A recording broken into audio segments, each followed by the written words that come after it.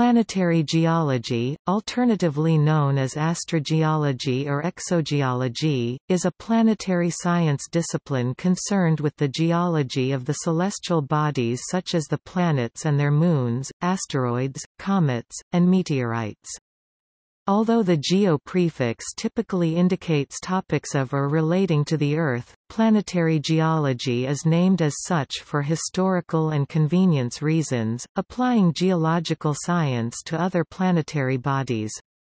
Due to the types of investigations involved, it is also closely linked with Earth-based geology. Planetary geology includes such topics as determining the internal structure of the terrestrial planets, and also looks at planetary volcanism and surface processes such as impact craters, fluvial and aeolian processes.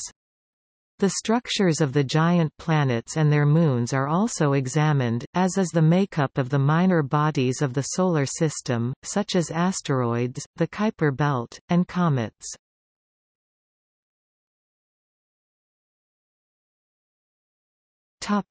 History of planetary geology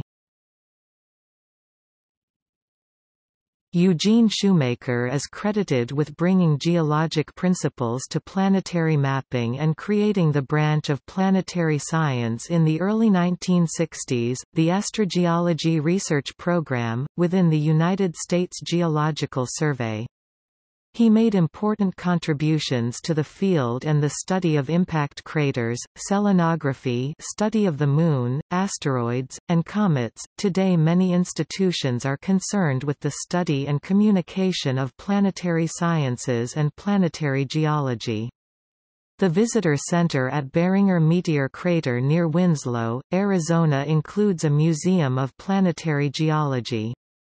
The Geological Society of America's Planetary Geology Division has been growing and thriving since May 1981 and has two mottos, "'One Planet Just Isn't Enough' and "'The GSA Division with the Biggest Field Area' Major centers for planetary science research include the Lunar and Planetary Institute, the Applied Physics Laboratory, the Planetary Science Institute, the Jet Propulsion Laboratory, Southwest Research Institute, and Johnson Space Center. Additionally, several universities conduct extensive planetary science research, including Montana State University, Brown University, the University of Arizona, Caltech, the University of Colorado, Western Michigan University, MIT, and Washington University in St. Louis.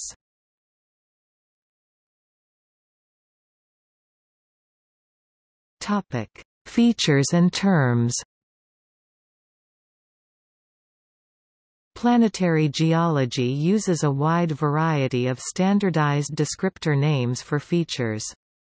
All planetary feature names recognized by the International Astronomical Union combine one of these names with a possibly unique identifying name.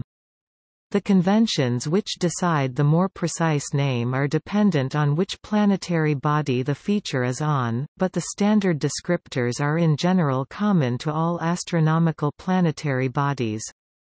Some names have a long history of historical usage, but new must be recognized by the IAU Working Group for Planetary System Nomenclature as features are mapped and described by new planetary missions.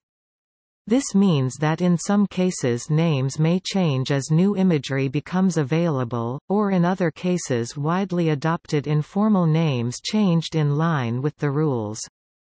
The standard names are chosen to consciously avoid interpreting the underlying cause of the feature, but rather to describe only its appearance. By planet